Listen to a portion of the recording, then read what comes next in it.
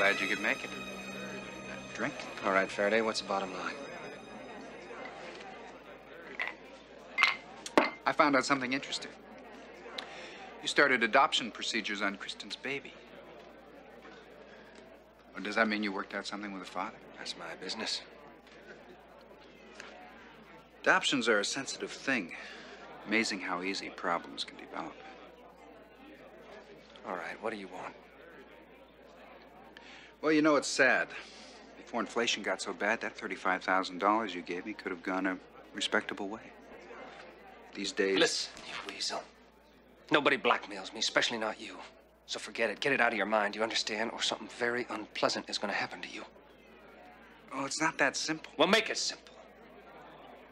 Don't you ever mention that baby again, either. But tell me, Mr. Ewing, uh, does your wife feel the same way?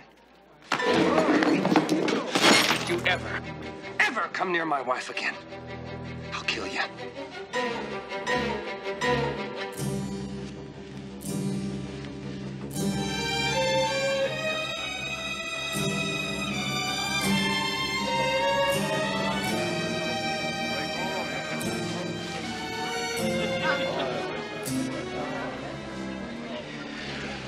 Have another one.